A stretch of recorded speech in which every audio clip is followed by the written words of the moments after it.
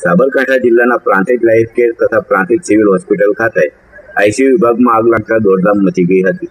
આ અંગેની જાણ પ્રાંતિક પીઆઈ વાઘેલાને થતા તેઓ પ્રાંતિક પોલીસ કાફલા સાથે દોડી આવ્યા હતા. તો પ્રાંતિક ફાયર બ્રિગેડને બનાવની જાણ થતા તેઓ પણ તાત્કાલિક સ્થળ ઉપર દોડી આવ્યા હતા. પ્રાંતિજ ખાતે બે જગ્યાએ મોક ડ્રીલ યોજાયું હતું, જેમાં પ્રાંતિજ એપ્રોચ રોડ ઉપર આવેલ લાઇફ કેર હોસ્પિટલ તથા નેશનલ હાઈવે આઠ ઉપર આવેલ સિવિલ હોસ્પિટલના આઈસીયુ વિભાગમાં આગ લાગી હતી અને આ આગને લઈને નાસભાગ થઈ ગઈ હતી.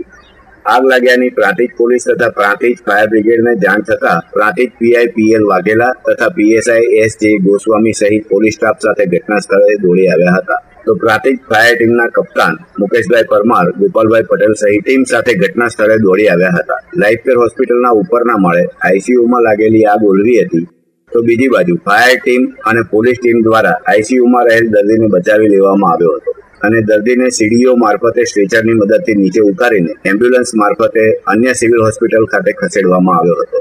જ્યારે પ્રાંતિજ સિવિલ ખાતે પણ પ્રાંતિજ પોલીસ અને ફાયરની ટીમ તાત્કાલિક દોડી આવી. આઈસીયુમાં લાગેલ આગ ઓલવી હતી અને ઉપરના માળેથી દર્દીઓને ફાયર ટીમ અને પોલીસ દ્વારા દોરડાની મદદથી દર્દીને નીચે ઉતારવામાં આવ્યો હતો. તો પ્રાંતિજ પોલીસ અને ફાયર બ્રિગેડ ટીમ દ્વારા સંયુક્ત ઉપક્રમે મોકડ્રીલનું આયોજન થયું હતું. આ મોકડ્રીલ દરમિયાન ફાયર બ્રિગેડ ટીમના કપ્તાન મુકેશભાઈ પરમાર અને ટીમ દ્વારા ડોક્ટરો તથા હોસ્પિટલ સ્ટાફ તથા પોલીસ ટીમને આકસ્મિક આગ લાગે તો પ્રાથમિક ધોરણે કેવી કાર્યવાહી કરવી તે વિશે માર્ગદર્શન પણ આપ્યું હતું. તો Prantij PI PL Vaghela Prantij PSI S J Goswami, doctor Shreya Patel, fire brigade ટીમના કપ્તાન મુકેશભાઈ પરમાર, ગોપાલભાઈ સહિત પોલીસ જવાનો તથા ફાયર બ્રિગેડ ટીમ તાત્કાલિક ઘટના સ્થળે દોડી આવ્યા હતા.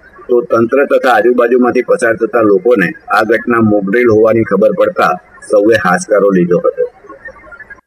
ફાયર બ્રિગેડના અધિકારીઓ દ્વારા લાઈફ કેર હોસ્પિટલ પ્રાંતિજની તેમજ સીએચસી ખાતે ફાયરની મોક ડ્રીલનું આયોજન કરવામાં આવેલ, જે ખૂબ જ સફળતાપૂર્વક પૂરું કરેલ તેમજ એક પેશન્ટને આઈસીયુ વોર્ડમાંથી નીચે પણ ઉતાર, સફળતાપૂર્વક નીચે ઉતારવામાં આવેલ છે.